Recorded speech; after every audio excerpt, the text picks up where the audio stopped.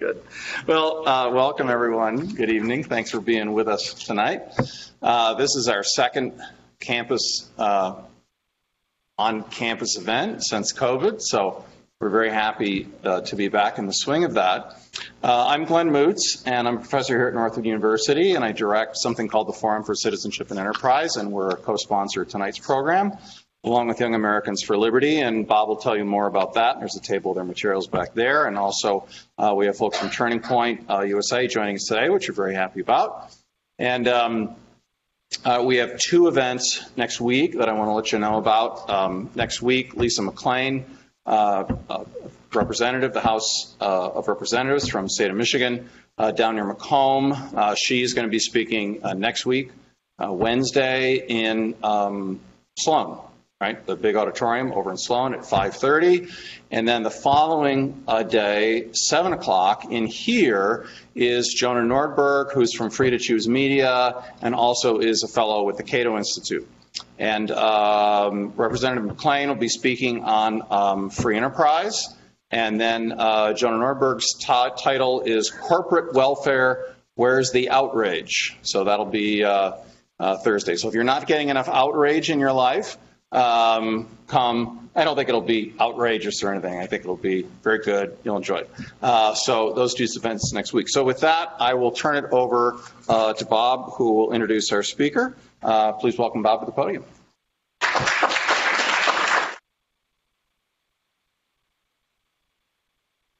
Well, thanks for coming, everyone. I'm excited. I'm very excited to have Yaron on campus with us today. Uh, he's going to give a great talk on inequality and the importance of that. Um, before we get into the speaker, though, I'd like to talk a little bit about Young Americans for Liberty. Um, we're a nonpartisan political activist organization. And what that means is we get on college campuses, we um, gather up student leaders that love liberty, love freedom, and we attack policies like um, bad free speech policies and uh, vaccine mandates at public universities. So, huge stuff that we fight against. We're actually suing Oakland University right now and Grand Valley State, which are going to be huge wins for us. We just got our 77th victory um, for free speech. Over 1.4 million students have been freed from restricted speech laws on college campuses, which is awesome. Um, so, good stuff there. if you're interested in uh, joining Americans for Liberty, learn a little bit more about it, we've got some materials in the back. Fill out one of those questionnaires. You can figure out where you stand on the political spectrum, and it allows me to get in contact with you later on. Um, without further ado, I'm very excited to have Yaron on campus with us today. Um, he's going to give a great talk. We'll have some question and answer at the end. Um, so without further ado, let's bring on Yaron Brook. Thank you. Oh, came on. Thanks, everybody. It's uh, great to be here. It's great to uh, be giving a talk to uh, three-dimensional people and not having to do this over Zoom, which is uh, been the standard practice uh, over the last uh, couple of years. And then, of course, it's it's uh, this is the first school I've spoken to where the students live and are all wearing masks. So uh, it's nice to see you smiling. I'm sure during the talk you'll be frowning. Uh, but uh, at least I'll be able to see what emotions are crossing your face because, you know, I think people underestimate the extent to which this is a form of communication, right? Our facial expressions and what we do with our faces. And when we put a mask on, that's gone. Sad. So inequality is a big deal. It's a big deal everywhere. Uh, I'd say over the last 10 years, the issue of inequality has maybe become one of the, if not the top, it kind of varies, not the top, one of the biggest issues, social issues that people are debating, discussing you see it across the board. Uh, you know, almost everything that goes wrong in the world ultimately gets seems to get blamed on some form of inequality. So uh, let's talk about what inequality is, how people talk about it. There are really two kind of ways in which they describe inequality inequality of income. So, how much you earn on a regular basis, on a, on a monthly basis, on an hourly basis, on a yearly basis, and inequality of wealth, how much you've accumulated in terms of wealth, right? Because you could have like, I don't know, some CEOs in Silicon Valley, I don't know what Elon Musk's salary is. He probably doesn't make a lot of money on a monthly basis. but he's the richest guy in the world because he has a lot of wealth, because it's all in his stock, and the stock of Tesla only goes up, it seems, and he's made a lot of money, even though he's, I think he lives in a trailer. Uh, the stories about Elon Musk are a little ambiguous, but so both of those are measures of equality. So it's this gap. So inequality is the idea. Some people make a lot of money. Some people make a little. Some people own a lot, have a lot of wealth. Some people have a little bit of wealth. And the gap between those who own a lot and those who own a little, that is what we call inequality. And the bigger that gap, the bigger the inequality, the smaller that gap, the smaller the inequality. And this is, we're told, a massive issue. This is an indication of, you know, we're told of massive economic problems. The, the economy doesn't grow enough because of inequality. Uh, we're told that uh, there is, uh, right now, I mean, the whole idea of critical race theory is based on the idea that we've got two groups here, and you look at them, that uh, you look at these groups, and one group, on average, has higher wealth than the other. And that's a problem, right? Because there's inequality, and inequality is a problem. And therefore, we have to solve that problem. We have to first find a cause for that problem, and the cause with CRT is uh, assume some kind of systemic racism. And it's systemic because we can't point to any particular act of racism.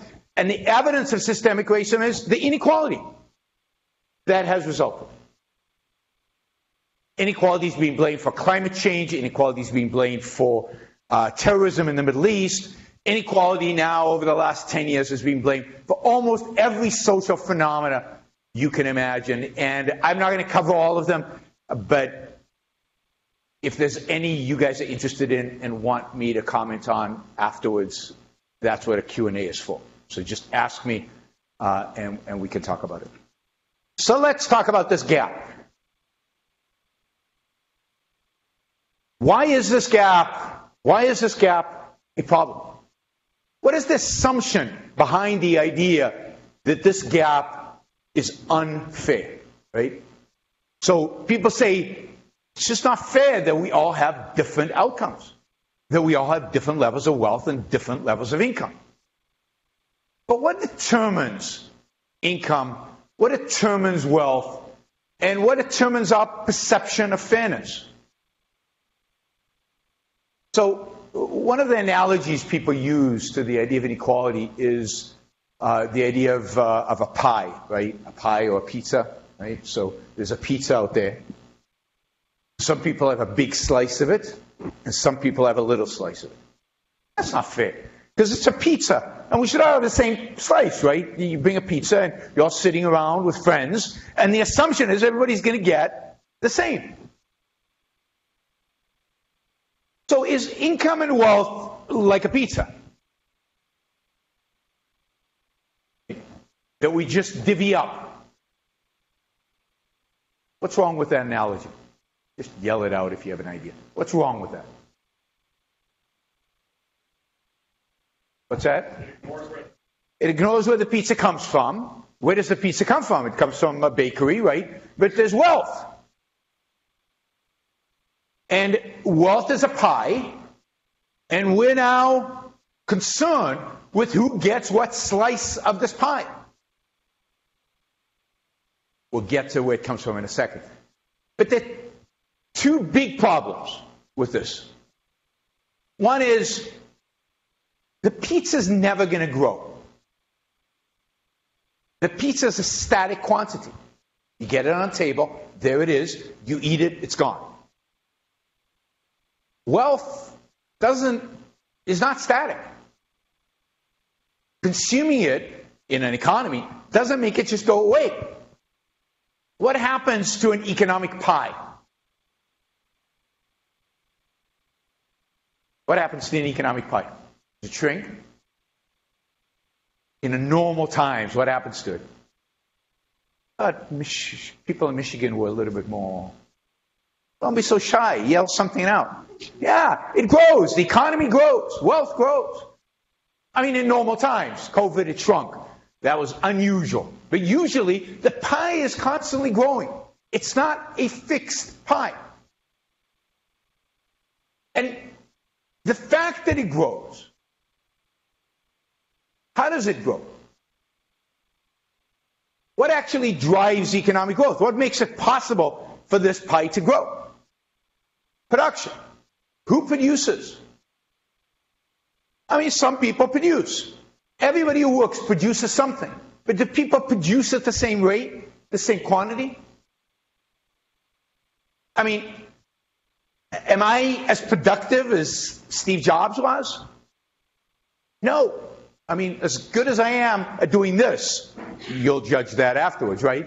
As good as I am doing this, even if I do, uh, you know, a, a campus a day every year for the rest of my life, I will actually communicate with a tiny fraction of the people who are impacted by Apple. Just the iPhone, never mind everything else. Right? Steve Jobs changed the world. He impacted the lives of billions, billions with a B people. He provided them with something that they wanted, desired. He added to their life. He provided a value to them. I hope I'm providing a value to you today. But since I'm providing it to a, relatively small audience, and I don't know how big the value is to you because you didn't pay for this, right? So you're getting it for free. You'll have to decide afterwards, right? But we know how much value Steve Jobs provided us. How do we know that? Anybody here have an iPhone?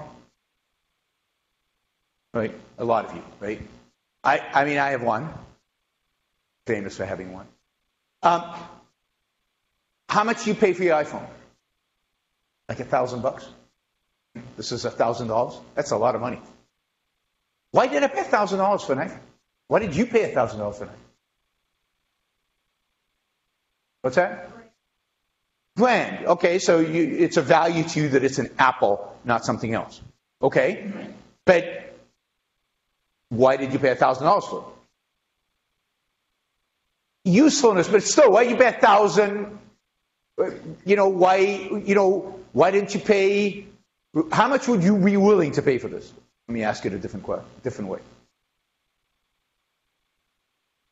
Well, you're obviously willing to pay a thousand. We're not gonna, we're not gonna test you here how high you would go, right? But how much is this worth to you? For the brand, for the usefulness, we'll get to that in a minute. But how much is it worth for you? Was that? Yeah, more than a thousand. How do we know that it's more than a thousand?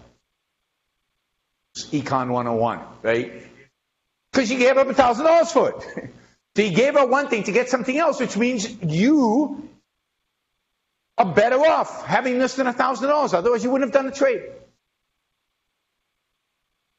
I mean, you wouldn't have gone to the store. It's not even that you're indifferent between the two things. You literally gave up a thousand dollars to have one of these because this is worth to you more than $1,000. Maybe it's because of brand, maybe it's because of usefulness, maybe it's design, who knows why. But for each one of you, we can say, this is worth more than $1,000. Now, who, who benefited here? Everybody. You benefited because you got something that was worth more than the cash in your pocket or in your bank. Apple benefited because profit margins on this are high. They make a lot of money when they sell you this. Now, I know for me, this thing is worth, I don't know, thousands and thousands of dollars, tens of thousands of dollars. I, I, you can't even put a number on it, really. Because, you know, what's the value of being able to, from the other side of the planet, right, from the other side of the world, on a business trip, being able to call up and read a midnight story to your kids? How do you put a number on that? Couldn't have done that in the past. By video now. That was science fiction. Ten years ago was science fiction. Every piece of music ever written and, and, and produced is on here. I can access it. I can access movies and TV. This is a massive entertainment center. A phone, nobody uses this as a phone, right? You do this, nobody does that, right? It's a video telecom- telecommunication device. It's a GPS. I couldn't have found this university without, well, I could have, because I've done it in the past, because I remember the days when GPS didn't exist. I'm surprised I'm alive, given the maps, right? You had to poke a hole in them to see and figure out where you were going and getting lost. Now you don't get lost. Nobody gets lost. And you could go on and on and on. To assemble something like this 20 years ago would have cost you tens of millions of dollars. All the features that are in here. And it still wouldn't have gotten it. And it wouldn't have been this small. And it wouldn't have been this beautiful, which relates to brand. So we all are better off because Steve Jobs produced us. And how much did he gain relative to what we gained? A tiny fraction. Somebody did an estimate. I don't believe these estimates, but I think I think this is overestimated. It's it's less than two percent of the value we got went to somebody like a Steve Jobs. But I think that's way more than really is. And it's changed. Whoops. It's changed our lives in ways that you guys don't know because, again, you lived with an iPhone from the beginning. And I'm not even talking just about an iPhone. The existence of an iPhone created competition. So we have smartphones that are not iPhones. Not clear they would have come about. Certainly not in the efficiency, price point that they have. Not for Steve Jobs. So he grew the pie. The pie actually got bigger. The pie was small. Steve Jobs came around it, with Apple, and everybody at Apple produced the iPhone. We all bought it. And even though we got, note, we got poorer. By how much did we get poorer? By $1,000 that we gave up. We really got richer because now we have an iPhone. But you see, when economists measure inequality, they don't count your iPhone. They only count what's in your checking account, your saving account, right? They only count money. And what happened to money when you, when you bought the iPhone? It went down. And Apple got richer, so inequality increased. But we were all better off. Nobody got worse off. You know, the, the other example I love to use for that point is how many of you, well, I don't know, how many of you have read Harry Potter? Is it even allowed to talk about J.K. Rowling anymore now that she's been canceled? Uh, anybody read Harry Potter? And All read Harry, this is generation? I don't know, because it's like, you guys, uh, she, she wrote these books a long time ago. So Harry Potter, right? Anybody like Harry Potter? Yeah. Oh, yeah. I mean, I loved Harry Potter. Harry Potter was great. I read it because my kids were Harry Potter's age. So uh, we got the book every year, kind of as they grew up. Harry Potter grew up, and it was kind of cool to track that. In the beginning, I would read the book to them, uh, but as they got older, they wanted to read them themselves. So we would have to go stand in line at midnight and get the get two copies, and they'd each get one, and they'd read it, and then I would listen to it on tape afterwards, right?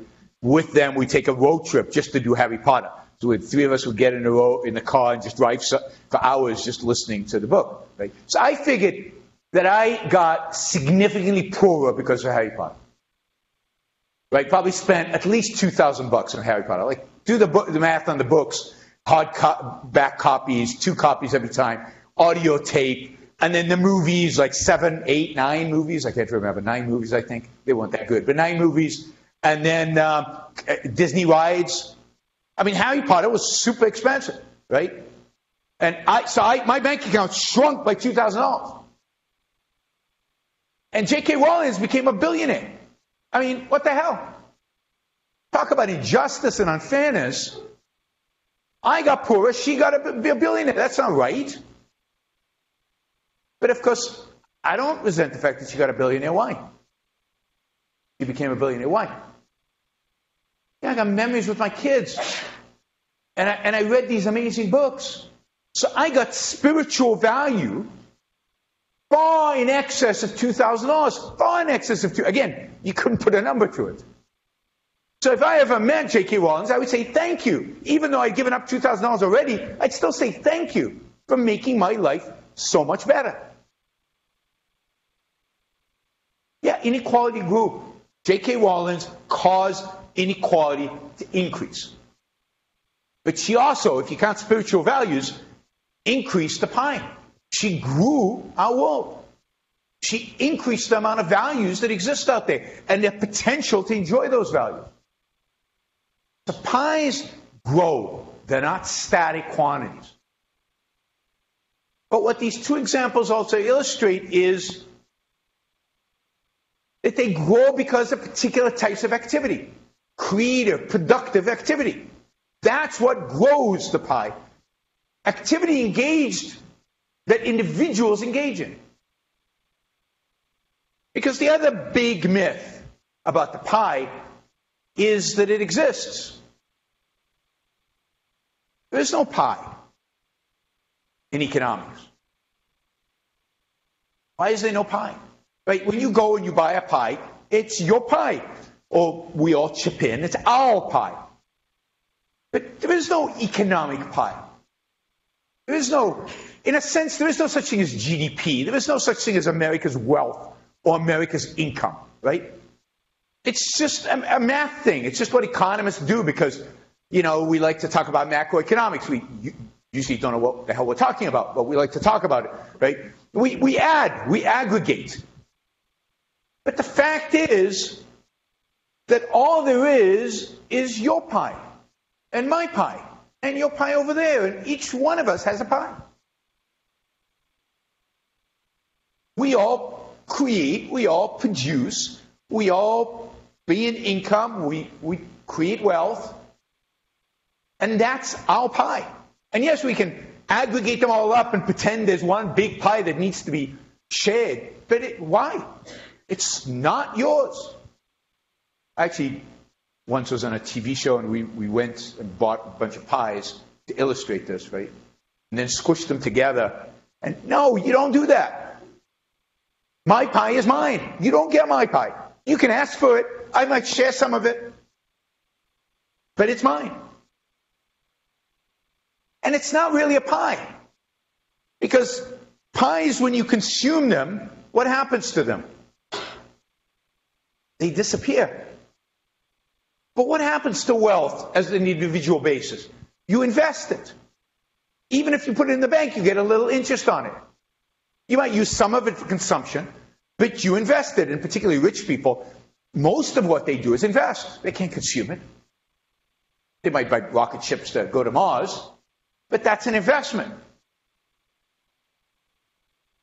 Investment that creates jobs, an investment that produces a growing pie. That doesn't exist. So each one of us has our own pie.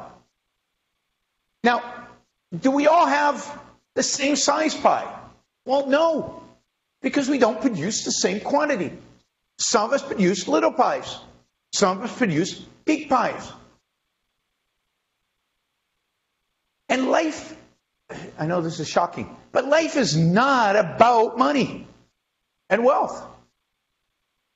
Some of us make choices to have smaller pies. I know your professors here, we have one representative, so um, but I'm going to speak for him. Your professors here are smart people. They could have had a choice of careers. I bet you they could have picked a number of careers where they would have made a lot more money than they do as professors. They don't make a lot of money as professors. They're not going to have a huge pie. None of them are going to be Steve Jobs unless they've got a business on the side. Some of us choose to be teachers, high school teachers. You're never going to make a lot of money as a high school teacher. Why? Because as I said before, you're just not going to create enough value for enough people to become a high school teacher.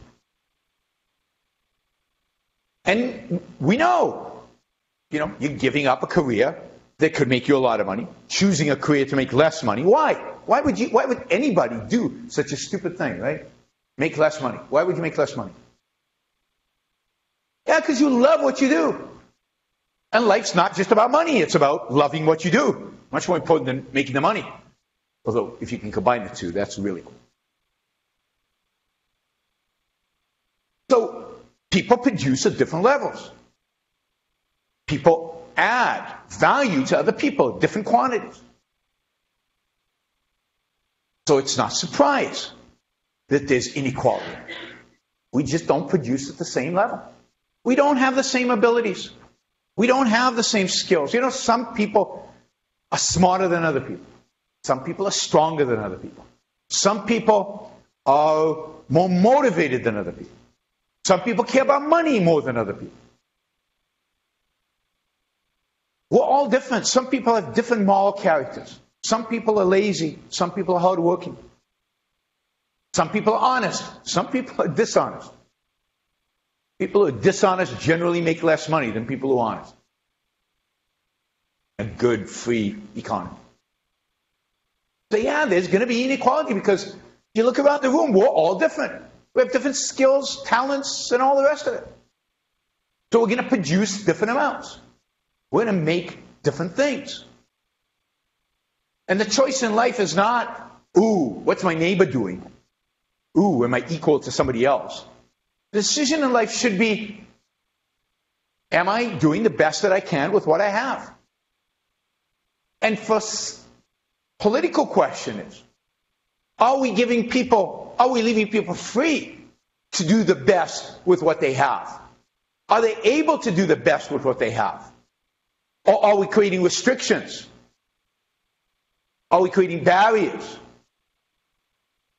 for them, for them to not be able to do what they love doing, what they can do, what they're able to do? So those are the only real two questions. Am I doing the best that I can with what my skills are, what my talents are, what my passion is, what I'm voted to? And am I free? Free enough to do those things.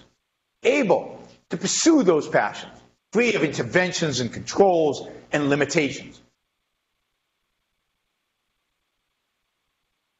So, we're all different. Now, how do we make us the same? Because that's what people are advocating for. They're arguing that inequality needs to be tamed needs to be reduced. Well, how do you reduce inequality? How do you reduce inequality? So I'll give you an example of inequality. So I am upset about basketball inequality. Like, I can't play basketball as well as LeBron James can. Right? It's not even that I can't play basketball as well as LeBron James, because you know, if you watch me play basketball, I'm not sure you recognize the game relative to how he plays, right? I couldn't score points on LeBron James if I tried. I mean, if I trained all day, all night for the next five years, I couldn't score a point on it. He's just better at it. He's devoted his life to it. This is his passion. He's got the skills. He's got the talent. He's got the physique. He's got everything going for him. I don't have any of that and I want to get on a basketball court and I want to be able to score a point on LeBron James. This is basketball inequality. I'm sure most of you feel the same way. You all look like your basketball, you know, not as good. Not as good. How do we make me and LeBron James? Not, we're never going to be equal, but how do we make them a little bit equal? So I can score a basket, one basket. Right? How would we do that? Yeah, you're not going to make me better. You make me marginally better, but not better enough. So what are you going to have to do? You're going to have to do what to LeBron? Yeah, you're going to make him worse. How are we going to make him worse? Chop his hands off. Great. Right, the morbid sense that people have, right? But he's right. I, I, I, wouldn't cut the hands off, right? I, I was thinking more break his legs or something, but you know, but it's the same thing. How are you going to make me and LeBron equal? You have to cripple him in some way. You have to slow him down. You have to make it impossible for him to jump. You have to make it impossible for him to dribble. You have to make it impossible for him to shoot. That's the only way he's going to become equal to me. How are you going to make me and Steve Jobs equal?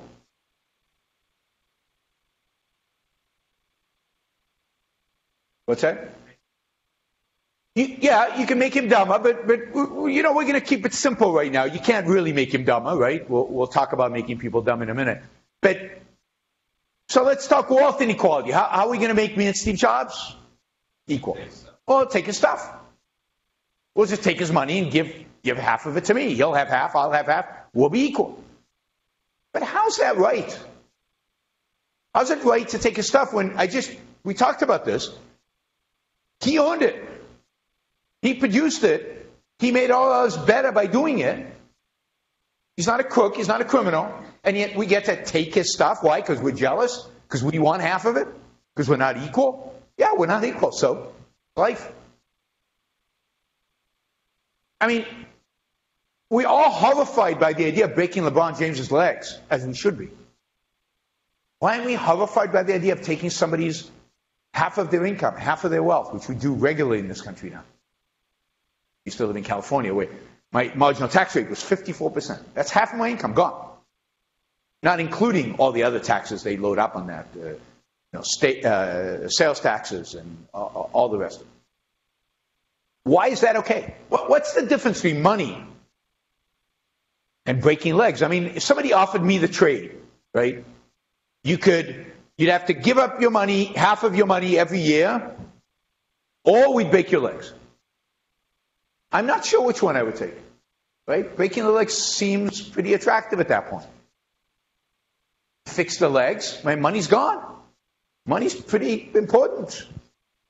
I can invest it, I can grow it, I can start a business, I can leave it to my kids, I can do a lot of things with it. Yeah, legs, they'll heal. But we're horrified by one and not by the other, even though both are acts of violence against me or against whoever has the money. And yet we're fine. Yeah, let's raise taxes and redistribute wealth and make us more equal. We're basically taking people's money. Why? And who gets to decide?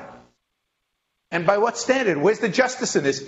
Particularly if you know that they have that money because they actually created value in the world. They actually made our life better. Do we get? What do we get to take it? People need it. Doesn't give you the right to take it. People claim they need it. So uh, inequality now is used as an excuse to Take from some, give to others, try to level the playing field. Playing field is not never going to be level. Never going to be level because, as you said, Steve Jobs is just plain smarter than I am, more charismatic, eye for design, all kinds of things I just don't have. He's different than me. We can't equate that we can pretend to equate it at the monetary level, but we can't equate the people in this room. We're all different. But you know, there was a, a, a regime once that tried to do this.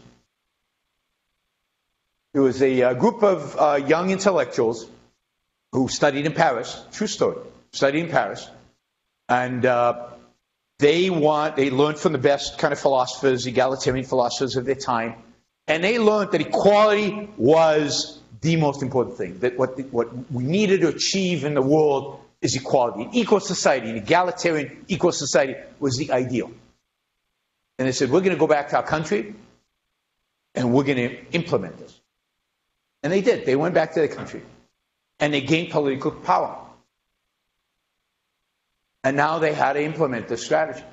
How do you achieve equality in a culture? So, first, they observed that people lived in cities and people lived in the countryside. And that was unequal because cities give you all kinds of advantages network advantages, all kinds of econ- economic, economies, economic advantages. So, and people in the countryside tended to be a lot poorer. So, how do you equate when you have people in the countryside and you have people in the cities? How do you make them equal? What can you do? Anybody here got an idea? How do you make people in the countryside and the cities? Yeah, you empty the cities. You empty the city. So literally, they literally forced everybody out of their homes and marched them into the countryside. So well over a million people were marched out of the city into the countryside. Now you've got a problem. You have to feed them. And it turns out that some people are better at like foraging for food than other people. It turns out that some people are, are just smarter than other people and find ways to find food that other people don't. So what do you do? How do you make them equal? People are good foragers and the people are not good foragers. How do you make them equal? Some people know how to farm, some people don't know how to farm. Some people know how to read books, some people don't know how to read books. Not this is a population where not everybody was uh, was uh, literate. What do you do? How do you establish equality when you have millions of people who are just not equal? They're just different. What's that? Well, they were the intellectuals. That's the problem. They were the leaders and the intellectuals. Uh, no, because that wouldn't have equality, because you, then you'd have the slave owner and the slave, and that's not equal. So, no, you can't do slavery. That's not a solution. What's that? You can train everybody to do things, you can raise people up, but that takes a long time. And even then, again, some people are smart and some people are not. Some people can train, some people cannot. And right now, you've got people who are going out there and they're getting more food than other people are. And, and, and they just have more ability. Yeah. You collect it all, and redistribute it, and you have to keep doing that. And it's still true that some people can read and some people can't. Some people are smart, some people are not so smart. Some people are educated, some are not educated. I mean, this is a big dilemma for these guys, right? So they came up with the ultimate solution, which is you basically shoot everybody who's above the rest. So if you're a good forager, you were shot. If you wore glasses, the assumption was you could read, so you were shot. If you had a high school degree, you were shot. They killed 40%, 4-0, of their own people in the name of equality. 40%. This is the killing fields of Cambodia. Look it up. Pol Pot and the Khmer Rouge.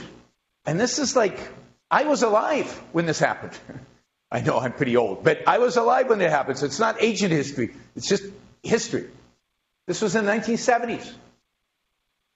40%. 5 million people, 2 million were shot. They are mass graves. Evidence of this. All in the name of what? Equality of outcome. Now, there is an important sense in which equality is valid, indeed, the only sense in which equality is, out, is valid. Because this type of equality, equality of outcome, is absurd, it's nutty, it's immoral, it leads to genocides like we saw in Cambodia. So, what's the one sense in which we should be all equal? The one sense that the founders in the Declaration of Independence, they declare all men are created equal. They didn't live up to that, of course. They failed in that score right off the bat. But what did they mean when they said all men are created equal? Did they mean equality of opportunity? Like, uh, I don't know, uh, did, did you all have the same opportunities in life? Yes is not. And then, you know, where you came from depends on your parents, depending on how much they invested in you, depends on a lot of things. We don't have equality of opportunities. See, conservatives fail because they, they, they, they assume that equality of opportunity is a comeback to equality of outcome. But opportunity is an outcome. I spent a lot of energy, time, effort, money to try to give my kids as much opportunity as they could get. They're not going to be equal opportunity with other kids who parents didn't invest that amount of time and effort and money in that. But there is still a sense in which equality is a legitimate concept. What is it? What, what, in what sense should we be, are we all equal? Full ability, yeah, there's a sense in which that's right. Yeah.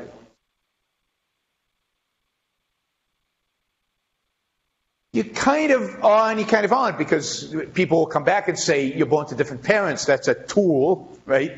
And and they're going to impact you. And given that the parents are different, you're going to be different. Yeah, equality of freedom. Oh, I'd say it, equality of rights. We're all equal in our rights, in our liberties, in our freedoms. Nobody is a slave, nobody is a master. Shouldn't be. Right? Equality is not about outcome. It's about the way the state, other people treat us. The state treats us from a legal perspective. It's equality before the law. But more basic than equality before the law, because what the law is based on, or should be based on, it's not, but should be based on is rights. It's equality of rights. Each one of us is born with a right to life, liberty, property, and the pursuit of happiness. A right, an inalienable right. Inalienable means what? What is inalienable? Nobody can take it away. Not a majority, nobody. You have that right by your very nature as a human being. The right to live your life. And what do rights mean? Because those are bantered around. It's a pretty liberal uses of the term right. What do rights mean? At least the way they were originally thought of. John Locke, that influenced.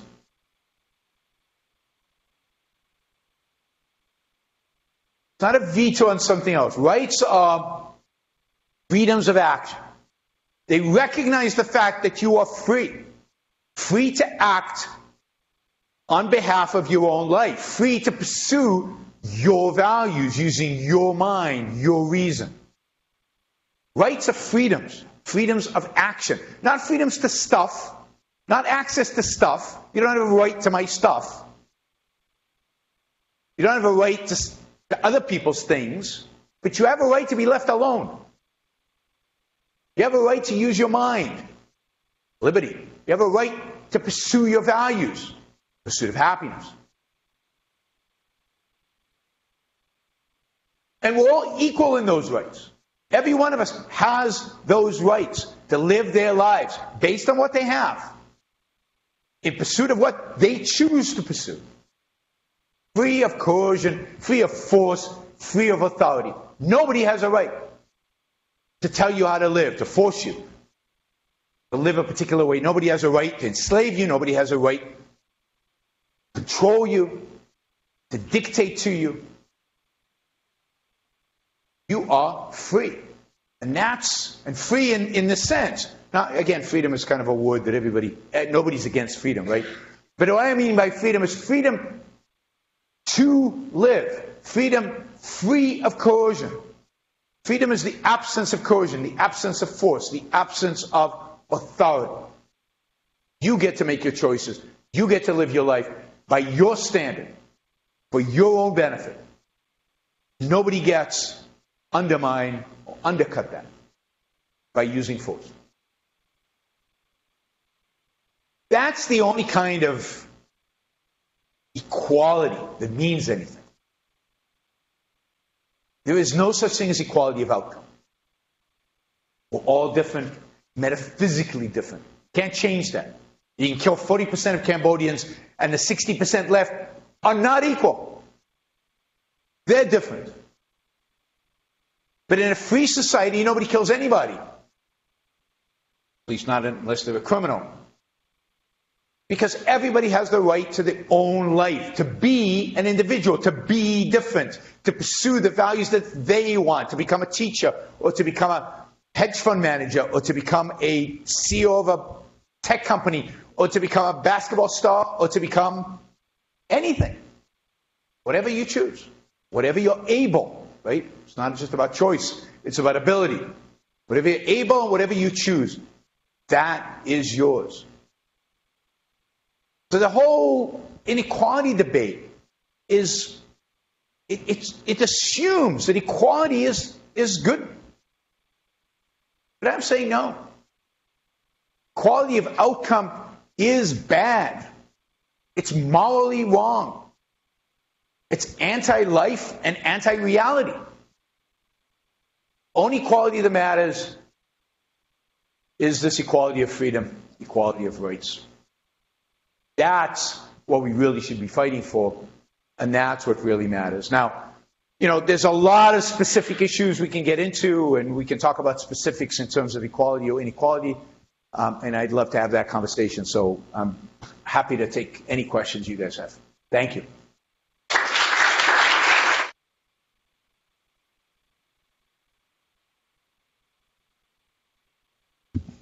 Got a mic. So just raise your hand. I'll walk around with the mic if you have any questions for Yaron. Um, right over to, to you. Um, I'll, I'll start if you don't mind. The shy Um, group. Some would argue that the relationship between business owners and work, same relationship between slaves and masters that you earlier. How would you respond to that? I respond with God. Um, I mean, slavery is such an evil institution, and it is so horrific in all of human history. It is imposition of the use of force of one human being over another human being. It's degrading. It's, uh, it's, it's unjust and immoral and evil in every regard. There's no voluntary consent. Slaves were whipped, beaten, murdered with no consequences because they weren't considered human beings. And it is popular right now among the Marxists and the leftists who are influenced by the Marxists to, to think of the employer employee relationship as a slave like relationship. I mean, that's bizarre. First of all, it's a relationship that's voluntary. You get to choose. And there is no one employer in the world for you. You can choose. You can also get in a car and go to another state and move around. Nobody's restricting you. You couldn't choose your slave owner. So there is this voluntary relationship, which is really, really important. That your employer cannot kill you. Your employer cannot whip you. They will go to jail. It's illegal. So it's there's nothing about this. You can resign. You can quit your job. Right now, we're living through what is being called by the press the great resignation. I don't know if you know this, but August saw the largest number of Americans resigned from their job, quit their job, uh, since this was tracked. So it's not that long. So since 2000, the year 2000, the most people resigned in, in one month. Uh, and, and people are calling this the great resignation. People are leaving their job because they don't want it. They don't think they're being paid enough. They're going on strike. Imagine slaves striking. They'd be killed. So it is a travesty to call it that. Uh, um, and, and, and it's the opposite. Employer employee relationships are virtuous relationships. Not only are they, um, not only are they voluntary, but they're win win relationships. Right? Why do you go to work for employer X? You get paid, and how much are you getting paid? If employer Y offers you more, I mean, it's a combined package, right? There's a good chance you would go there. So you're staying here because he's paying you the best that you can get. He's paying you enough to justify you going to work for him, not doing something else with your life. You start a business, you go back to school, you could go work for somebody else. But you choose employer X because you're better off by being employed by employer X. The reality, you're better off. And now is he sacrificing in order to employ you? Is he losing from the proposition? No, he's making money off of you. You know, when you go get a job, mean, let's say you get a job for fifty thousand dollars a year. How much are you? How much are you worth to the employer? More than fifty thousand. They're making a profit off of you. And how much is your time worth to you? To be free of this employer, less than fifty thousand. That's why you're willing to give up your time to go work for him at 50,000. Who lost? Nobody. It's win-win. And if you think about it, think about the birth of capitalism, the beginning of capitalism. What were all of us doing before there was capitalism? What were our ancestors, for the most part, doing? They're mostly farming. Most of them were subsistence farming. Subsistence farming means you grow the food that you eat. There's no excess. You work all day while there's light. hard physical labor. Night, you go home, you eat, you go to sleep, you wake up in the morning, you go to work all day, and you're, you're feeding, everybody's barely eating, right? No obesity problem in those days because there was barely any food. How many, uh, what's life expectancy before capitalism? 39. I'm long dead. You guys are middle aged. 39. How many kids make it to age 10? 50%. Half the kids die before they're age 10, either childbirth or later. Many, many women, I can't remember the exact number, but a high percentage of women don't make it out of childbirth. They die in childbirth. That's life before capitalism. What do children do if they survive? What do they do on the farm? They don't just sit around all day. They don't go to school. School is a modern phenomenon. Nobody went to school. They worked. So here comes capitalism in the cities. And they suddenly are offering people jobs, employees, and they're paying them. And it turns out that everybody leaves the farm and goes to the city. You're seeing that right now in China. Over the last 40 years in China, hundreds of millions of people left the farms and went to the cities to do what? To become employees, not slaves, employees. And why did they do that? Why did they choose to become employees rather than farm their plot of land? Because it paid better. A lot better. As little money as they made in these so-called sweatshops or in these uh, factories or, you know, they made so much more that they could live and send money home because their kids usually stayed behind in the, in, in the farm or their parents stayed behind in the farm. One child policy that China had, you know, the, ch- the one child got to support two parents. That's how we came out of that poverty. That's how we got the life extension we have. That's uh, the life uh, the lifespan we have. That's how we have the relative health that we have is coming through that process and working through it. And why do wages rise? Why are people not making the same today as they did 200 years ago? Why are they making more? Much more. Because they're more productive. Because they can create more.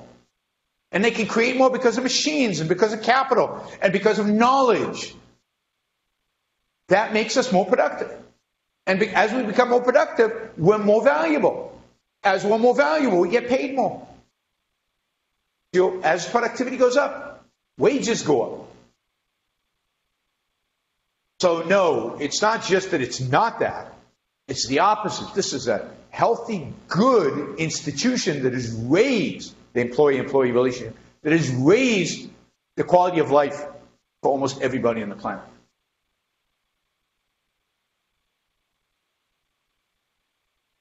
Hi, Ron. Thanks for your talk. And I loved the fact that you were tying in spiritual values with money. And on that topic, uh, you know, the whole idea when you were talking about, you know, Steve Jobs, he and J.K. Rowling grew their pie. You know, I think each and every one of us here in this auditorium can grow our own pie uh, with our creativity and effort and, and thought.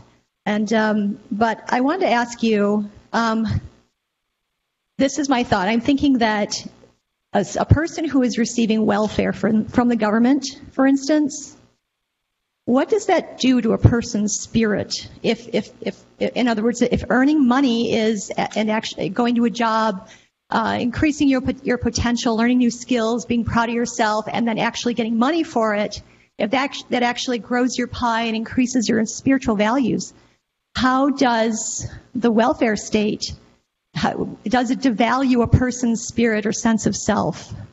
Yeah, I mean, I think it does. Um, it, it, I think it has to. Uh, we are an animal that that um, has to produce, and much of our self-esteem, our, our notion of self-worth, our notion of, of being successful at living, is our ability to go out and take care of our own material needs and take care of our families' material needs. And even if we're poor, even if we don't have a lot, the idea that we can take care of our own, that we can take care of ourselves, we can take care of our family, is a source of pride. It's a source of joy. And it's, it's hard, but it gives us self esteem. It gives us a sense of achievement in life. But when somebody comes around and says, don't do that, don't, here's a check. Don't worry. We're just going to fund you. Don't need a job. We're going to take care of you. I think it, I, I think it's very tempting. So, you know, people do it, particularly in economic times when there are seemingly no jobs. And it can be quite addictive. Don't have to go to work anymore. You're now receiving goodies, but you're losing something. You're losing that sense of accomplishment, that sense of pride, that sense of achievement. Indeed, the opposite has happened. You're being told implicitly by the government that you're worthless, that you can't make it by yourself, that you need the government to take care of you. And you become kind of a, a ward of the state. And I think it's very damaging to the pride and the self esteem and the ability to achieve happiness of people on welfare. I think the welfare state broadly does that to people. And I think it makes poverty worse, not better. It'll help individuals. Some kids will, will come out of it, right? But there's too much of an, it, it, it builds up a, a culture of entitlement and a culture that is, that is denied the achievements and the success that comes from taking care of self from a material perspective. So I think the welfare state is incredibly damaging spiritually to the recipients. And of course, it involves taking from some people in order to give to others. Questions? I Said a few provocative things. Come on, people.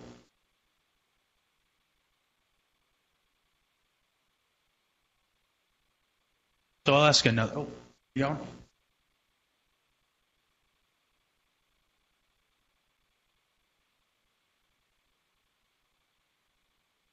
I don't know if it's a, a question, but I was thinking as you were thinking about ways to equalize, I thought if you wanted to be Steve Jobs, you could also use a time machine. That would be helpful, right? It would be very helpful to have a time machine, although even if I had a time machine, I couldn't, I don't think I could do it. I mean, You probably couldn't sustain it, but maybe I, I would could- invest in Apple, and I would make a lot of money by investing in Apple. Um, but uh, but I, I, I, I don't know that I could do, even with the knowledge today of what he did, Yeah. do what he did. Yeah. Uh, I, I'd rush. Do you know the story, Steve Jobs, when he raised his money for Apple for the first time? He was a hippie. He had long hair. He didn't believe in showering. True story. He did not believe in showering. He thought having showers was unhealthy. So he stunk. He, and he didn't, he didn't wash his clothes. So he would go to meetings with venture capitalists, try to raise money.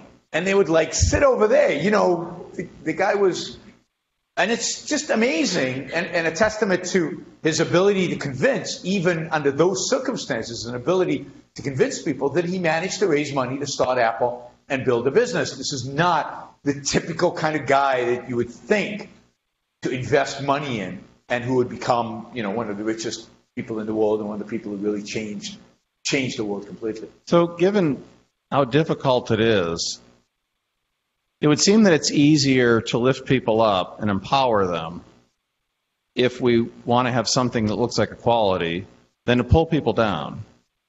But why do you think it is that so many people, especially people in power or people that want power, would rather pull people down than help people come up?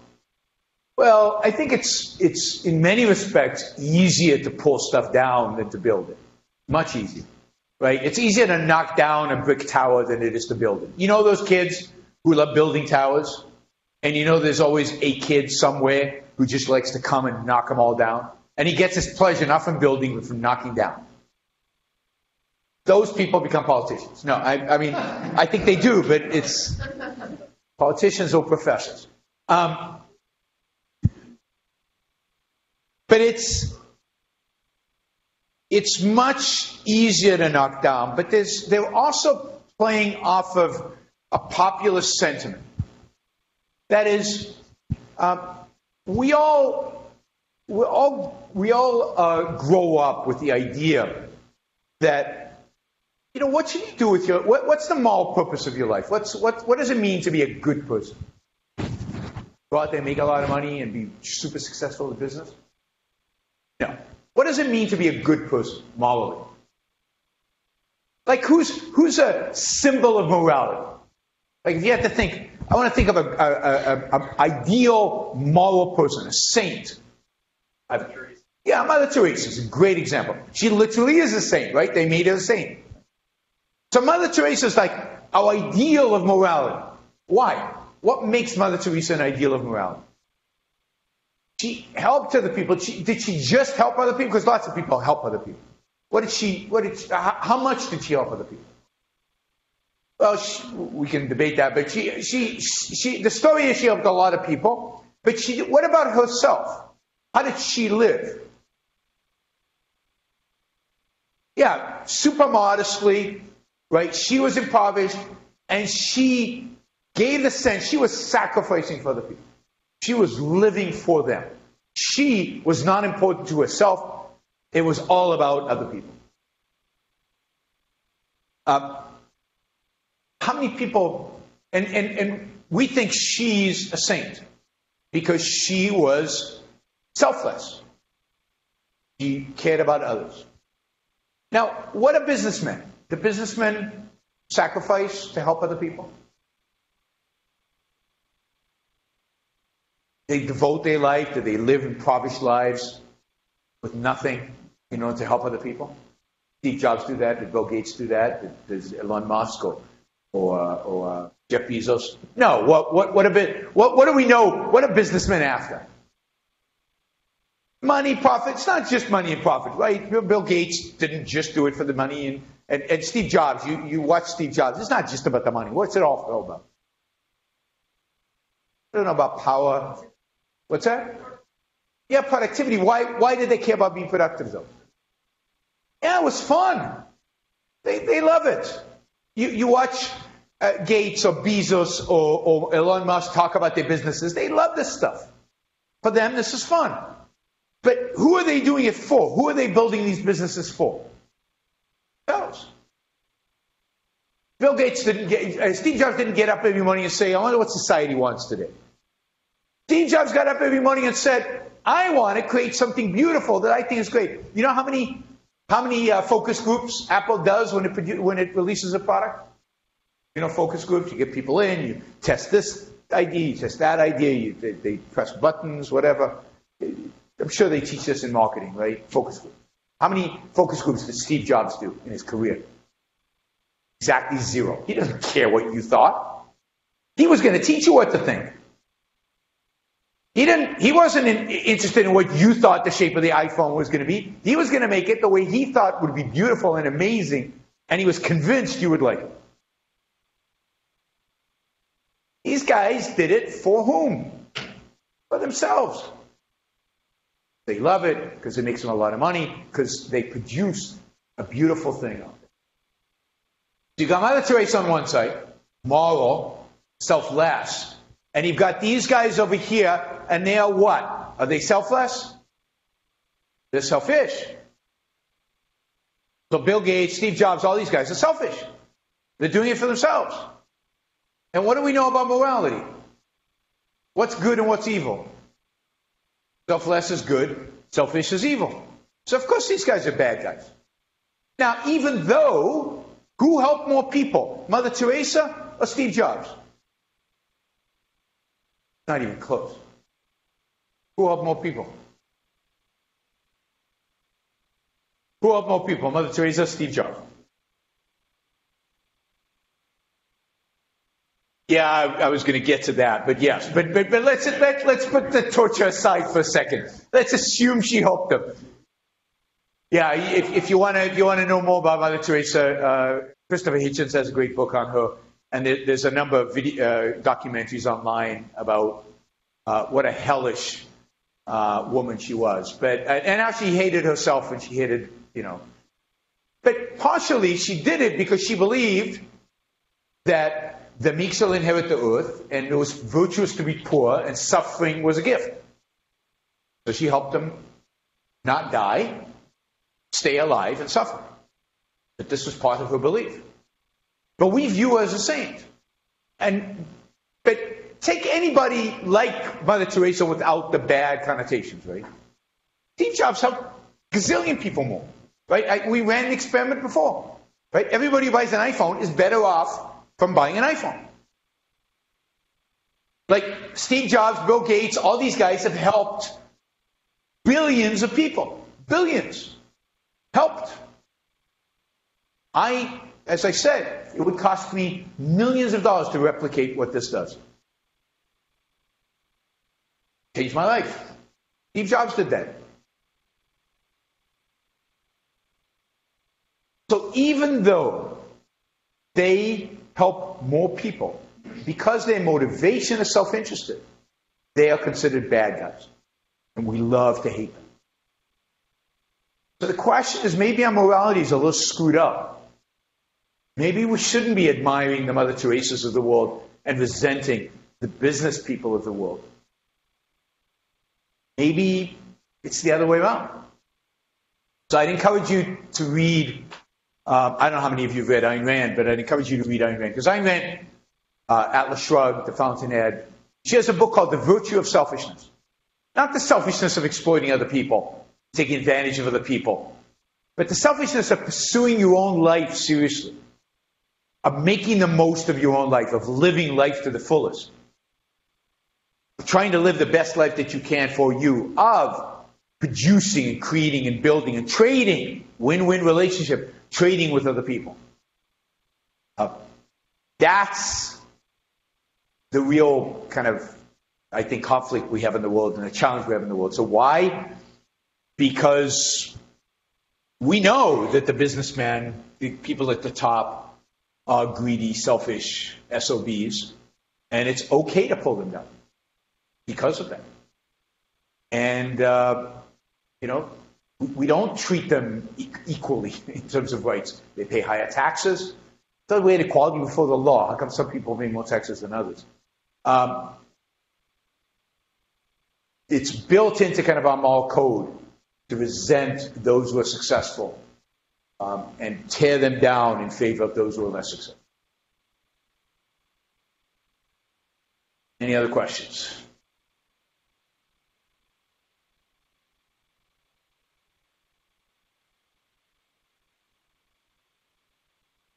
Yep. Responsibility. Yeah, so the question is um, do I think that somebody who's born with bad opportunities, in a, in a circumstance, uh, family, social, whatever, that, just limits their opportunities, makes life hard for them, do they still have a moral responsibility to make their life the best that it can be? And the answer is yes. They, what's the alternative? Right? You have you have one life. One. You're never going to have a second of it back. Every second that passes will never be recaptured. What, what's the purpose of all this? If not to be successful at living, to live a good life, to live a meaningful life, to live the best life that you can live. And whatever your opportunities are, wherever you happen to be born, wherever you have, you know, you have to make the best with what you have and try to achieve happiness, which in some circumstances is difficult, some circumstances is easier, but always requires effort. Always is a challenge. Nothing is just provided out of thin air. When it is provided out of thin air, you should be suspicious of it. But life requires effort. Life requires, and, and granted, people, and nobody is born with the same opportunities. We're all unequal in opportunities. And for some people, it's going to be a struggle, more of a struggle than for other people. As they say, that's life. There's nothing you can do to change that. And when you try to change that, is when you make it more horrible for everybody. That's the, the, the, the, the moral of the Rouge story, is when you try to achieve equality, what you bring about is death and destruction.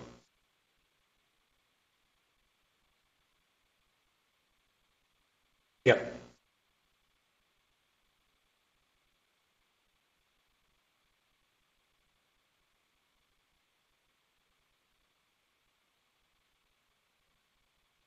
Why are the majority of uh, professors liberal in the U.S.? Liberal meaning left. Um, I'd say because the left are more intellectual, the left are more philosophical, the left are more uh, geared towards education.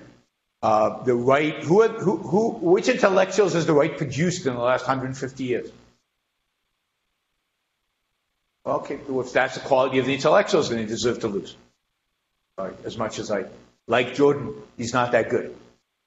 Um, the left just dominates the intellectual fields. It has for 200 years. It has, you know, the, since since really uh, the Enlightenment.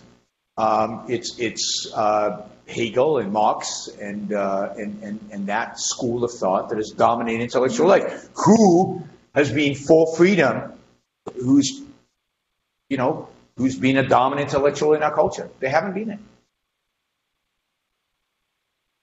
So the left dominates the intellectual field because the right has not produced the kind of uh, thinkers that could dominate that field. For a while, um, the right, the right being the pro-freedom side, if you consider the right pro-freedom, maybe not anymore. But uh, for a while, the free market side dominated economics. The best economists. We still, to some extent, do, right? Best economists in the world are all uh, free market types. But economics is not a fundamental field. It's a derivative field. It has far less cultural impact than economists think. Uh, what has much more impact is philosophy and kind of the soft, the soft humanities, which, and, and they're the left dominates. Just dominates.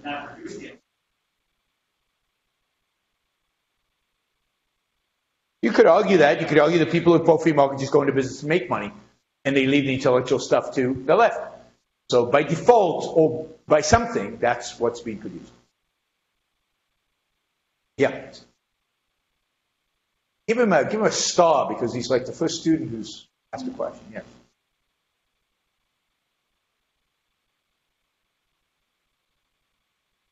What's the greatest threat? I'd say the greatest threat, I'd say the two, right? So one is an external threat. An external threat is um, that our opportunities are being limited. They're being limited by government. They're being limited by our fellow men, our fellow uh, human beings. Um, they're voting to restrain us and constrain us, and so it's, it's, it's becoming more and more difficult to start a business. It's becoming more and more difficult to hire people. It's becoming more and more difficult to trade. It's becoming more and more difficult. You're less and less free in the world in which we live. And it doesn't matter, Democrats, Republicans. It's not about politics because they're all about the same. Politics is about power. And it doesn't matter if you're a Republican or Democrat, you want power over other people, and that means restraining other people, constraining them, and limiting them. So I would say that the biggest constraint we have is uh, the, the fact that our, our politicians, our governments, local, state, fed, uh, federal, are limiting the opportunities that we face and constraining them. And I'd say the, the biggest challenge we have internally is that we're not taught and we're not encouraged and we're not expected to be rational. There are major philosophical attacks on our capacities to think. So, what does it take to, to achieve a successful life? It takes a lot of thinking. It takes a mind. It takes using your mind to solve problems. And the problems could be, what do I do with my life? That could be a problem, right? But it takes real thinking to solve problems. And to do real thinking, you, you have to be one motivated, but you have to have a certain skill set. And I think you guys, unfortunately, many of you, uh, your schools have not taught you to think, to use this tool. You're taught to emote, to express your emotions, although this group doesn't seem to be very good at it, um, and to have opinions about everything, whether you know anything about those things or not. But the skill set that is really crucial for human beings, the thing that makes us different than animals, the thing that makes us unique, is that we think, that we can use our mind. And that's something that you have to make an effort to do, and a lot of society out there, you know, uh, discourages that. And a lot of educational institutions, primarily pre-college, but even some in college, discourage you from thinking. And, uh, and, and that's what life is ultimately about. If I just say, what is, what, what is the way to prosperity and happiness and success in life? It's think, think, think. Solve problems, solve the problems that you face in your life, in the world out there. You know, you want to become a billionaire, solve problems for billions of people. That's how you, how you become successful in business, solving other people's problems. And you do that on a large enough scale, you'll be incredibly successful. But it's so those I think are the two challenges. We got time for about one more question. We got two. here. We got one here. Why don't you grab him and then grab her? You got two here? Okay, so we got three. Unless you have to vacate the room. Uh, my question is, it's popular belief nowadays that price gouging is considered considered unmoral, but do you see it as a benefit for society? price gouging. Um, so let me just let me just say uh, something about the way I think about these these issues. First, I don't know what benefit to society is. I don't know what that means. Who's society? Right? I know what a benefit to you is. I know what a benefit to me is. I, I might know what a benefit to some of these other people are as individuals. But we like to talk about the common good and the public interest and society and this group and that tribe. Uh, But they're all just groups of individuals and individuals who might not have the same interests. So there's a lot of confusion about what is good for society. Nobody knows, and we can argue all day long. And you, what are you going to? Are you going to? Um, this is a problem of utilitarianism. How are you going to? How are you to figure out what causes the most benefit to the most people?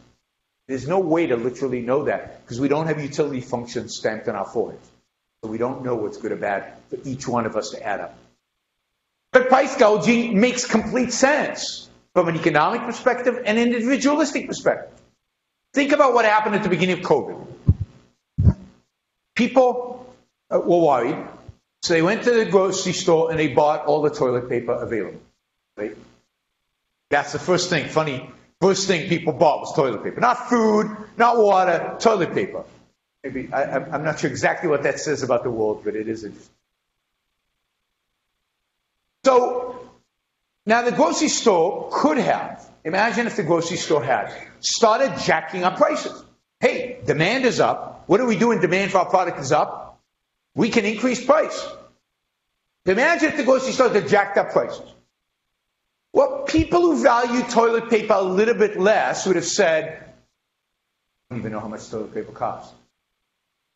My wife does a grocery shop. Right?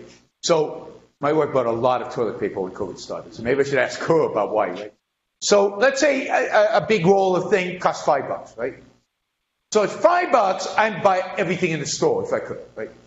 But if it goes up to ten bucks, I'm only going to buy what I need right now. Now, some people at ten bucks will still buy more. Some people won't buy any. And what will that depend on? How much they value the toilet paper. So the toilet paper will go to the people who value it most. At the same time, prices have gone up for the toilet paper, and of course the grocery store wants more toilet paper because they can sell it now for ten bucks. They already paid two bucks for it, right? So they go to the supply of toilet paper and they say, "We want to buy a bunch more because we want to fill the store because we want to sell toilet paper ten bucks." And of course, the uh, the producer is observing the prices going up, so they're jacking up production and they're producing more, but the shelves never get empty. Because the price, right, supply meets demand, right? The price adjusts upward and keeps supply on the shelves until more stuff arrives. And when more stuff arrives, prices start declining because competitive pressures between stores. And you get you get to a new equilibrium. But here, everybody goes, they buy everything, the shelves are empty because the grocery store is not allowed to jack up prices. And you get a shortage. So the people who got there first, to buy everything up at a cheap price, benefit, everybody else loses. So I don't know how you do the social balance, but it just makes economic sense to allow prices to float upwards when it comes to crisis. Same with gasoline in a hurricane, right? Who's going to buy the gasoline if you jack the prices up? The people for which the gasoline is most valuable. So they get the most benefit from it. They're willing to put up the most. But you don't run out of gasoline. Nowhere near as quickly. Because what happens this, this way? You keep it cheap, everybody comes, and gasoline runs out like that. And including people who are just topping off, not because they're trying to escape a flooding home, but just they want to top off just in case of an emergency. But I'm not just going to top off in case something happens if gas prices just triple. So gouging serves a crucial, fundamental, really, really valuable function. Really, really good. We got two questions here. You think you can get them in five minutes? What's that? You think you can get the two questions in five minutes? Yeah, do we have to be out in five minutes? Yeah. Yeah. Yep. Oh, So I was researching before I came, all right. and um, I was reading um, something on your Wikipedia page, and I wanted to know your Oh, opinion God. on My it. Wikipedia page. You I knew you can't were going to get escape at least Wikipedia. one question. Yeah. Um, Brooks claims that when the U.S. goes to war, it should only be to protect the rights of its people, and the government must do everything in its power to end the threat to its citizens as soon as possible by using overwhelming military force or the threat of force. If torturing enemies, enemy prisoner of wars, and purposely targeting civilian population centers will end a war against American citizens, Brooks is for it. I was wondering your opinion on that and bringing it into inequality. You were using a lot of very broad terms, metaphors, and such like that. I wanted to know if your views and opinions change if you were on the streets, homeless. I'm just trying to get some empathy from you, and it's very, very difficult. Tough. Um, I know. yeah. I didn't really expect it, but I was just, I wanted to ask. Uh, no, I don't. I, my my opinion doesn't change if I'm on the street and I don't have anything. It's my responsibility to bootstrap myself and get out of that. I can ask for help, but I have no right to take your stuff. I don't have any right to take your stuff. I came to this country as an immigrant um, to get an MBA because it was my only way to get into this country. I came with nothing, or very little. I wouldn't say nothing, but I came with very little, enough to pay my out-of-state tuition. But basically, that was it. With a wife, um, I had two kids when I was a graduate student. I got no money from the government, although they paid my in-state tuition, so I guess I did uh, in that sense. Um, so it, it, it's not like I started out life with everything handed to me. I worked hard. Um, I, you know, challenged. We used to we used to write down every dollar that we spend, where we spend it, how we spend. Diapers was our largest expense for a couple of years, right? So it's not that everything was being handed to me, but I don't think any of that is relevant. The point is, no matter how bad, if I get cancer tomorrow and I lost all my money and everything just disappeared, right? Does that give me a claim on you? No. You live your life. I live now. My friends, I will ask them. Hopefully, some of them will help me, but I can't force them. But people are not my friends, how do I? How, where do I get uh, the power to to take your money and to take your time and to take your effort and to take your energy uh, for my sake? Why? Because I'm suffering. My suffering doesn't give me a claim on your time. I would ask people, I would ask people for help. If somebody came to me who was struggling, here's the empathy you want. Somebody came to me and struggling, and people have, I'm happy to help. Happy to help. If, what's that? I mean, look, the closer you are to me, the more likely I am to help. The further you are from me, the less likely I am to help.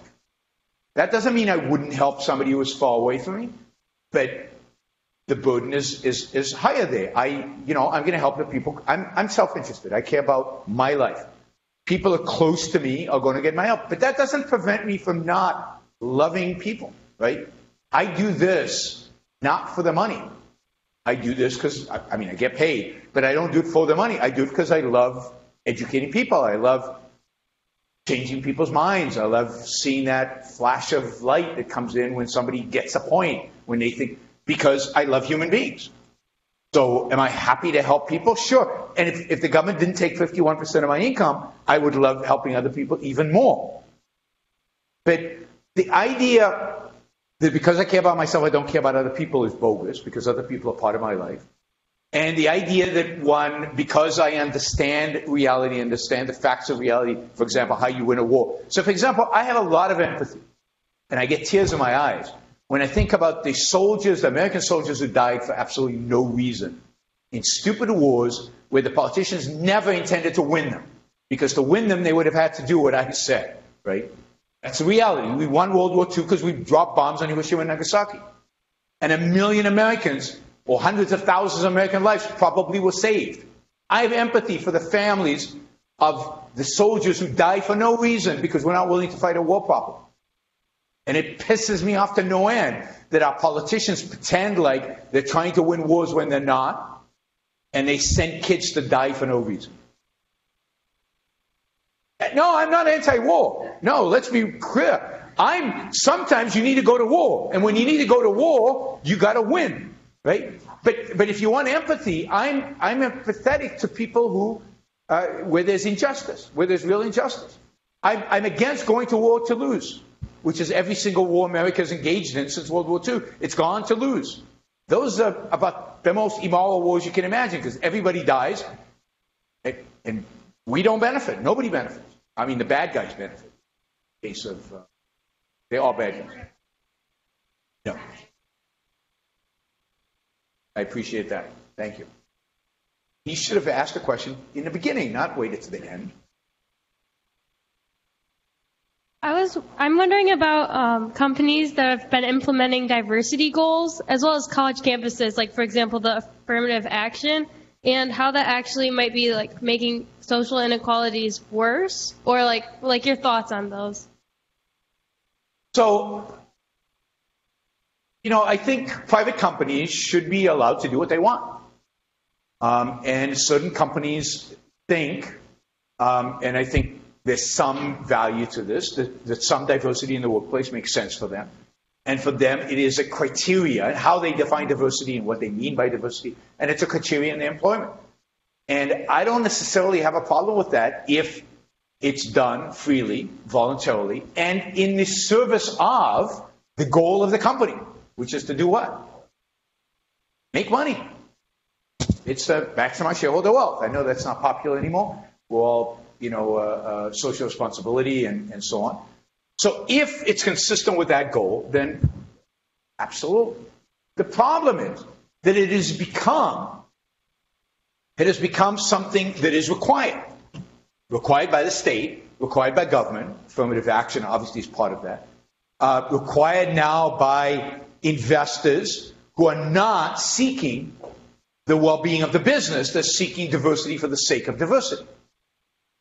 And that, I think, is wrong. Again, people should be free to make choices about who to employ and who not to employ, who to deal with and who not to deal with. Uh, it's a violation of their rights to engage in voluntary engagements with whoever they want to dictate to them, uh, you know, the, these DEI requirements that are now uh, popular. And, and think about what DEI means. I mean, diversity, but the, the key is, is equity, right?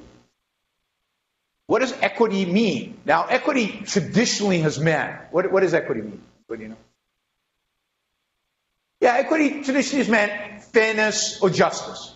And justice historically means pe- getting people what they deserve, right, in a particular context. What does it mean today? What does equity mean today? What? Yeah, equal outcomes. It's, it goes back to the whole topic of what we discussed. Equity means today equal outcomes. And equal outcomes are not a good thing. And if you start, I mean, it means you pay everybody the same. You don't pay everybody the same. People produce at different levels. So you pay people based on how much they produce. Now, you know, if companies are doing bad stuff, if they're discriminating, if they're treating their workers badly, they won't do well. You know, I, will give you this example, and then I think we have to stop. I'll give you this example. There's a there's an argument that uh, women get paid less uh, at law firms. Yes, I'm going to do the people are outraged. Uh, women get paid paid less at, at law firms uh, than men do. So the same skill set, the same ability, uh, and uh, they'll come out of Harvard Law School, a woman and a man, and the woman will get paid less than the man for basically doing the same job. Right? That's the story that we're told. And let's assume that's true. Is there a way to make money off of that? How would you make money off of that fact?